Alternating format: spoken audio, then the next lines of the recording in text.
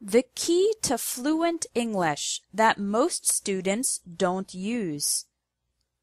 If you speak with a lot of pauses and hesitations, but you want to speak fluently and naturally like a native speaker, the secret is learn to think in English. Many English students say, it's too difficult. I don't know enough English words. I need to think in my native language and translate. However, thinking in your native language and translating results in sentences that don't sound natural in English because the sentence structure is often different in English and your native language. In addition, it takes too much time to think and translate when you're in a conversation leading to pauses, hesitations, and the inability to speak fast and fluently. So, here is how you can learn to think in English from the beginner level to advanced. Level 1 is thinking in individual English words.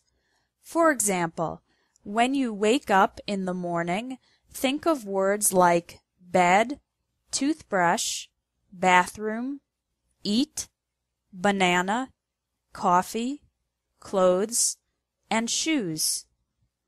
Then, when you go to work, think of words like car, job, company, desk, computer, paper, pencil, colleague, and boss. During the day, continue to think of the individual English words for everything you see, hear, and do. Try this exercise right now. Look around you and think of all the English words you can. I'd imagine you can think of at least 10 words.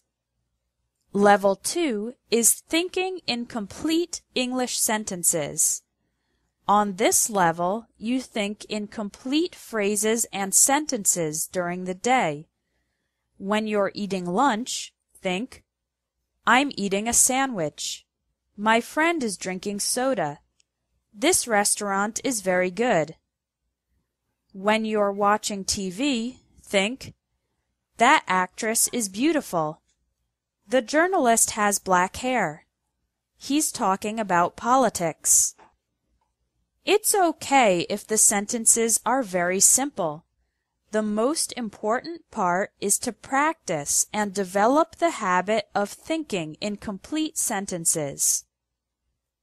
Level 3 is Functional English. On this level, you imagine having to use English for everything that you need to do.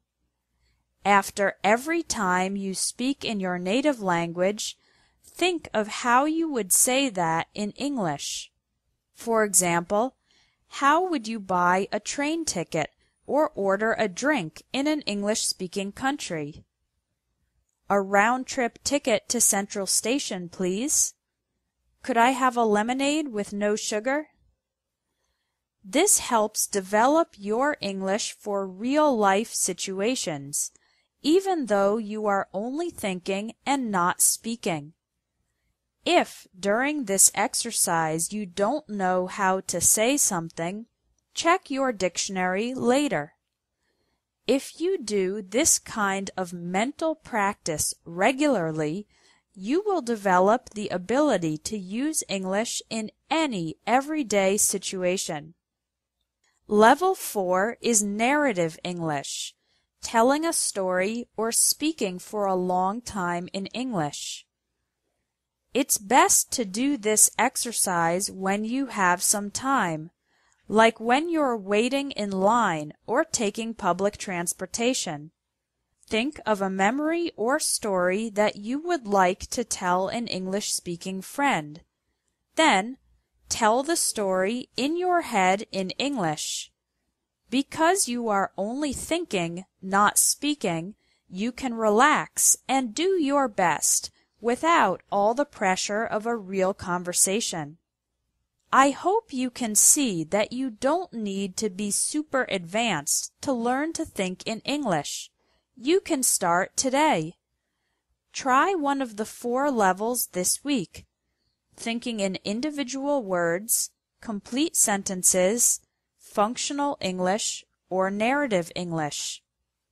Thinking in English is the biggest tip for increasing your fluency because it makes you more confident and helps you speak more easily without hesitation.